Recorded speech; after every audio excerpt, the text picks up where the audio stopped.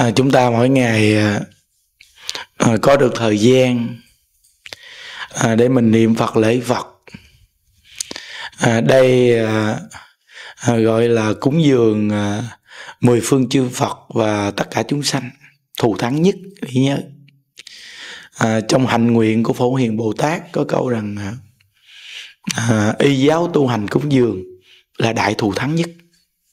Thì thấy rõ ràng là mình có được thời gian niệm phật, lễ phật cái tâm của mình ít bao giờ tha, sân si vì thấy rõ ràng không nhưng mà những đức thấy mà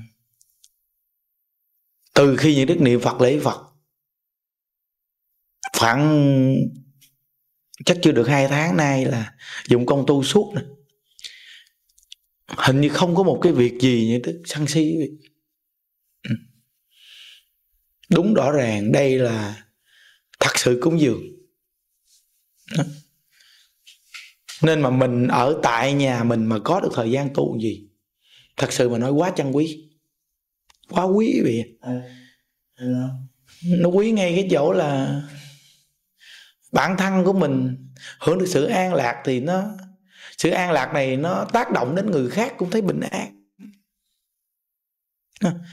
bản thân mình hưởng được sự an lạc, tác động người khác bình an. Bản thân mình bị bất an, làm người khác cũng bất an theo. Từ nơi đó mà nhà đức nói, những người mà có được thời gian niệm phật, lễ phật, có thời khóa tu gì? Những đức thấy quá tuyệt vời, quá đặc biệt luôn. Nhớ, nên có một đoạn mà đại lão hòa thượng hư văn một ông quan này hỏi hòa thượng hư văn ông phân tách về địa ngục và thiên đàng cho tôi thử như thế nào. Nếu ông mà phân tách mà không rõ ràng không xong là tôi giết ông. Thì à, thì ngài hư văn, ngài chỉ với mặt ông ông quan này, ngài mắng ông quan này. Thì ông quan này săn si lên. Thì tức khắc ngài hư văn ngài nói, đó đó là địa ngục. Vừa nói đó là địa ngục một cái. Thì ông quan ông hiểu rồi. Thì bắt đầu ông vui vẻ, ông nói cái cách mà mà nói về địa ngục này hay quá, để săn si là địa ngục. Ông vừa săn si lên địa ngục, thì ông chấp nhận chấp nhận hạ cái tính nóng ông xuống. Thì bắt đầu ngày hư văn ngày đấy đó là thiên đàng trong tâm ông. Từ nơi đó quý vị biết rằng là có những người chúng ta, thế giới cực lạc họ không tin nhưng họ tin có tam độ ác đạo. Nhiều lắm quý vị. Có những người cực lạc họ không bao giờ tin, nhưng mà tam độ ác đạo họ tin. Địa ngục họ tin. Họ tin có địa ngục. Nhưng mà cực lạc thì họ không tin. Vì sao họ tin có địa ngục quý vị? Vì họ mỗi ngày tham sân si quá nặng nên họ tin có địa ngục. Hỏi ngày họ không niệm phật lễ, phật không có niềm vui nên họ không tin có cực lạc tây phương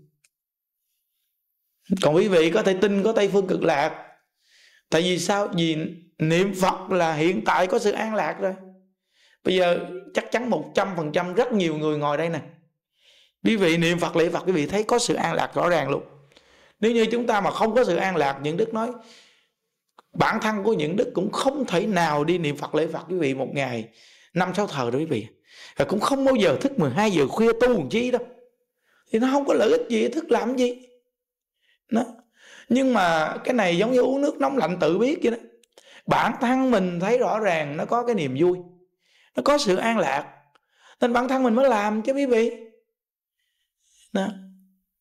nên từ nơi đó mà mỗi một con người mình mình làm một cái gì mình thấy đó là cái sự lợi ích xác thực. Những đức thấy rõ ràng luôn. Không có cái hạnh phúc nào bằng cái hạnh phúc mà mỗi ngày được bình an cái nội tâm nên những đức nói rằng khi mình khổ đau, giống như mình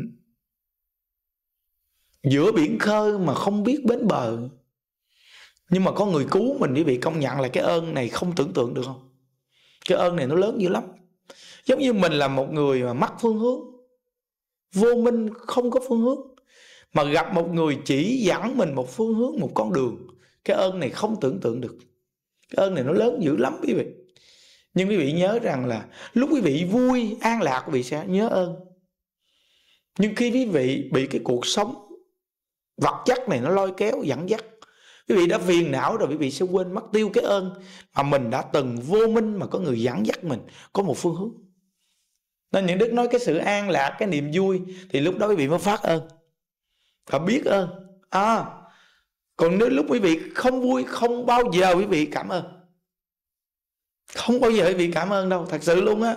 Thí dụ như một người bây giờ có lo lắng cho quý vị đầy đủ vui vẻ cỡ nào lúc trước, nhưng nếu quý vị vui lúc đó quý vị mới thật sự cảm ơn. Nhưng khi quý vị đã buồn rồi là quý vị chỉ có căm hận chứ không bao giờ cảm ơn. Cái căm hận đó là tại người đó mà giờ làm tôi khổ, nhưng họ quên nguyên một đoạn đường dài. Người ta đã lo lắng giúp cho họ vui. Nên những đức nói rằng nếu như quý vị tu mà không an lạc quý vị sẽ không bao giờ cảm ơn. Không bao giờ cảm ơn. Nên những đức nói rằng, quý vị, mỗi ngày chúng ta có thời gian để niệm phật lễ phật quý vị làm một công việc gì đó nhẹ nhàng, lo cho gia đình, hoặc là làm một công việc gì để quý vị có thời gian để niệm phật lễ phật để dưỡng tâm. Quý vị là người đại phước báo trong cái cuộc đời này. Có những người chỉ cần bước vào một công việc gì đó thôi là họ chỉ có sân si thôi hoặc làm một công việc gì thôi, chỉ có đi chỉ trích người khác, sân si thôi. Đây là thiếu phước quý vị à thiếu phước mới gặp một cái nghề như vậy. Mà cái nghề mình đang làm đó là chiêu cảm của cái nhân quả để làm. Nên những đức nói người thân trong gia đình quý vị, họ làm, họ kiếm cuộc sống đem về, mà quý vị có được thời gian tu đó nghe. Quý vị là người đại phước báo, quý vị phải cực kỳ cảm ơn họ. Nhưng quý vị muốn cảm ơn họ là quý vị phải tu an lạc kìa chứ nếu như những đức nói quý vị mà tu không an lạc đó nghe, những đức đưa cái cách tu quý vị tu mà quý vị bèo nhèo đó nghe, quý vị vậy bị chửi họ luôn nữa chứ đừng có nói mà cảm ơn. Một trăm phần trăm luôn. Nếu quý vị không an lạc, quý vị sẽ không bao giờ cảm ơn ai cả. Như bản thân những đức nếu mà bây giờ những đức mà không có một cái cách tu cho bản thân những đức tu an lạc nghe, những đức sẽ mỗi ngày chỉ trích và quán hận dù những đức không nói thẳng, nhưng tâm những đức là ác tâm, chỉ trích và quán hận kêu riêu làm nhiều điều mà bản thân mình cảm thấy rất tức tối. Thật sự, bây giờ những đức có sự an lạc, những đức thật sự là cảm ơn từ tâm, quý vị à. Cảm ơn những người đã làm dùm cho những đức mà bây giờ bản thân những đức có được cái thời gian tu tập này. Khi cuối cuộc đời thì bản thân mình cơ hội giải thoát rất là cao. Và người ta thì lao tới cái cuộc sống mà dù cho nhiều người tung hô mà không biết đi về đâu nè. Tại vì những đức nói với vị nghe, nếu mình không dưỡng tâm an lạc không niệm phật an lạc, thì cái chuyện giảng sanh thật sự chỉ nói bằng cửa miệng đầu môi thôi. Không thể nào mà chúng ta giảng sanh được đâu quý vị ơi. Cái nhân là niệm phật mỗi ngày phải an lạc kìa. Nó mới có cơ hội cực lạc. Chứ nếu như mà mỗi ngày mình sân si không lấy đâu có cực lạc cho mình. Bây giờ những đức nói mỗi ngày quý vị mở mắt ra là tiền tiền, mở mắt mắt ra là sân si, mở mắt ra là giữ tiền, mở mắt ra là giữ của như vậy thì cái nhân tố, quý vị, là cái nhân tố ở đâu mà không hiểu sao? Cái nhân tố là tam độ ác đạo, chứ làm gì chúng ta có cực lạc tây phương? Quý vị biết vì sao chúng ta niệm phật là niệm vô lượng công đức không? Vì cái công đức vô lượng này á, nó ngăn chặn tất cả những vô lượng ác của chúng ta sắp sửa khởi ra. Quý vị công nhận là mình niệm phật lễ phật nhất là môn lễ phật nghe khi bị lễ phật rồi phải rõ ràng không? Nó dừng tất cả ác mà khi vị lễ phật đến mức mà nó nó mỏi người nó mỏi người là tức khắc ác dưng liền quý vị để ý đi. À, thì ra là con người mình rảnh rang ở không và vọng tưởng. Nó dẫn dắt mình đi đến chỗ ác. Nhưng nếu mỗi ngày niệm phật lễ phật tâm ác dừng liền đúng là phương pháp lễ phật này hay thiệt. Quá hay luôn. Nhưng mà nhớ nè nếu đưa ra một cách tu mà tu gượng tu ghét đó nghe cũng thất bại luôn. Khi mình tu gượng tu gán thì mình ngát, mà khi đã ngát thì vọng tưởng ập đến liền. Còn bây giờ mình tu mình đang thèm mình đang háo hức nè nên vọng tưởng nó nó vừa đến một cái là cái tâm an lạc cái tâm vui vui vẻ của mình với với câu vật hiệu đó. Nó xô văng ra hết. Tại vì mình đủ lực đủ sức quý vị. Còn nếu như mà tu gượng tu ghét thì tâm lực mình đã yếu bớt đi. Mình đã chán nản cái cách tu này rồi. Mà mình đang gượng gác để tu thôi cuối cùng thì nghiệp lực nó ập xuống, nó bao trùm lại mình luôn. Bản thân mình sẽ không bao giờ mà mình có thể có được cái sự an lạc của nội tâm như vậy đâu. Nên đúng là một cái cách tu cực kỳ quan trọng. Một cách tu rất quan trọng. Bây giờ những đức nói với vị nghe này vì nấu một cái nồi cháo rất là ngon. Không? nhưng quý vị không biết được cái khả năng ăn uống của người ta quý vị múc cho một cái tô cháo thiệt là to. Người ta múc dài muỗng cháo người ta ăn thì ngon lắm. Ăn nửa tô cháo thì ngon lắm. Nhưng ta no. Nhưng còn nửa tô cháo cuối cùng kết thúc thì người ta gán gượng để ăn. Cuối cùng kết thúc của tô cháo đó là tô cháo dở. Nếu như quý vị có thể biết cách thì quý vị múc nửa tô thôi. Thì tức khắc người ta ăn xong nửa tô cháo, người ta sẽ nhớ nửa tô cháo của quý vị. Và người ta muốn ăn nửa tô cháo kế tiếp, hoặc là người ta tiếp tục muốn ăn cháo tiếp tục nữa. Tại vì sao? Vì trong cái cuộc đời này không có cái gì mà quá đáng được cái cái gì mà quá đáng thì từ tốt nó thành xấu.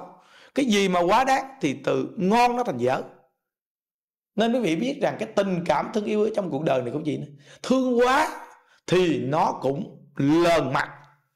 Quá thương à thương cái gì mình cũng quá bồi dưỡng, quá thương rồi. Giết nó cũng xem thường cái tình thương này luôn. Đây là một trăm phần trăm luôn, quý vị à.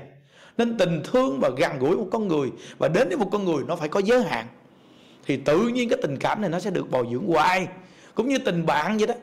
Nó xuyên suốt được ở bên cạnh nhau, có khi một ngày nào nó đổ vỡ. Sự thân thiết nó đến với nhau quá nhanh, thì một ngày nào có khi cũng lặt mặt nhau. Và sự lo lắng cũng vậy lo lắng thiết là kỹ lưỡng, đàng hoàng vô cùng. Thì trong cái sự lo lắng đó họ sẽ không biết quý trọng. Nên họ mới đi đến sự khổ đau của cuộc đời họ. Tất cả những việc này những đức đều trải qua và thấy rõ ràng xác thực hết luôn. Rõ ràng và xác thực hết luôn quý vị. Đó, nên quý vị nhớ những điều này thì những đức nói, tất cả những việc thiện chúng ta làm, không việc thiện nào bằng niệm phật. Vì tất cả việc thiện làm còn bị phiền não. Được tung hô thì mừng, được chê bay thì hận thì ghét. Nên cái làm thiện vẫn có tác dụng phụ. Đúng rõ ràng, tổ sư nói một câu, không có việc thiện nào bằng niệm phật. Đúng, niệm phật là tuyệt vời. Vì sao? Vì khi mình niệm phật rồi, cái tâm mình rất an lạc. Và khi cái tâm an lạc rồi, thật sự cảm ơn. Đúng rõ ràng, khi đã cảm ơn, thì vô lượng công đức sanh ra liền. Và khi đã quên ơn bội nghĩa, thì tất cả phước duyên đều đổ sạch hết luôn. Thật sự mà nói, làm thiện chỉ là tạo phước duyên thôi vì sao? Vì quý vị chưa thế nào sanh tâm cảm ơn được.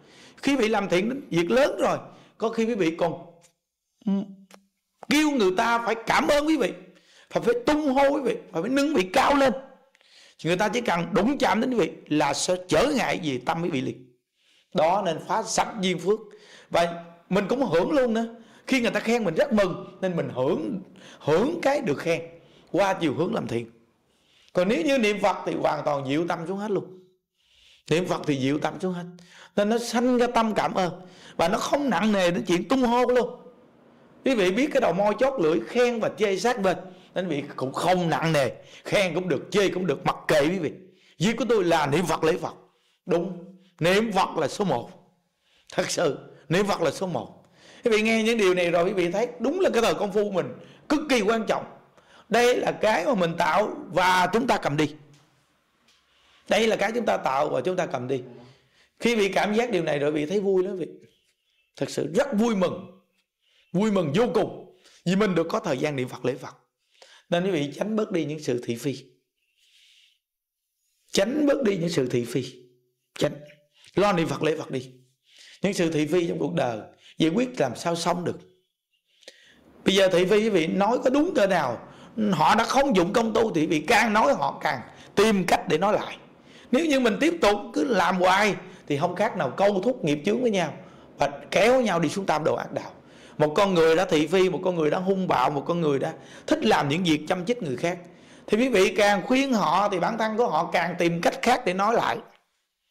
Nên rất rõ ràng, cái gì cũng không bằng niệm phật hết. Cứ để cho họ làm thoải mái. Đến một ngày nào, tự nhân quả đến với họ, lúc đó tự họ dừng. Còn họ không dừng, đó là chuyện của họ họ chỉ cần nói đến cái tên của mình là mình với họ đã có duyên rồi. Mình chỉ cần lạc trước đi, mình sẽ trở lại độ họ sao? Thật sự, họ chỉ cần nói tới cái tên mình, thương hay ghét mình cũng đã có duyên rồi. Ta hãy phát nguyện rằng khi ta về cực lạc, ta sẽ trở lại độ tất cả chúng sanh. Chỉ cần có một cái tâm đó là tuyệt vời nhất. Còn nếu bây giờ phân tách đúng sai, thì phân tách hoài đi chăng nữa cũng không xong. Tại vì họ đâu có dụng công tu. Như quý vị dụng công tu nói vị còn nghe. Thì khi vị dụng công tu vì mở tâm lượng ra, nó nói vị nghe còn nếu như vị không dụng công tu thì thôi, chịu thua. Nó bít lấp cái thiện, nó phá cái ác, làm sao mà mình giải thích cho họ nghe được. Dù là văn tự bị nói rất hay đó, nhưng đối với họ là quý vị đang chửi họ quý vị đang khiêu khích họ, thì họ tiếp tục tìm cách phải nói lại quý vị. Nên đúng rõ ràng, sự hơn thua thì không biết chừng nào sau. Chỉ có là dụng công niệm phật, dụng công tu để nhìn thấu buông xuống, đó là đặc biệt tuyệt vời nhất đó, nên chúng ta mà lễ phật xong quý vị thấy, buổi nói chuyện nào cũng rất quan trọng, đúng không? Không cứu vị đi chỉ trích ai cứu vị làm tròn trách nhiệm gia đình đi. Làm chết tròn trách nhiệm một công dân của một đất nước đi. Sống không phạm pháp, sống đúng với quy tắc nhà nước đưa ra. Và chúng ta ở gia đình mình, việc gì làm thì việc tình, rảnh rỗi niệm phật, lễ phật. Làm tròn trách nhiệm làm cha, làm mẹ, làm con. Sống cho đàng hoàng, tốt đẹp. Đó là cái hạnh phúc nhất. Đây là địa ngục đây là cực lạc nhân gian. Cực lạc nhân gian của chúng ta nghe quý vị. Thấy không? Chứ không phải địa ngục. Cực lạc nhân gian nghe quý vị. À, chúc quý vị an lạc nha. Hay với đạo phật. Ừ. Hay với đạo phật. À, chúng ta hẹn gặp nhau cực lạc quý vị ơi. Hay với đạo phật. Ừ. À, chúng ta hẹn gặp nhau cực lạc nha. Hay với đạo phật hay với đạo phật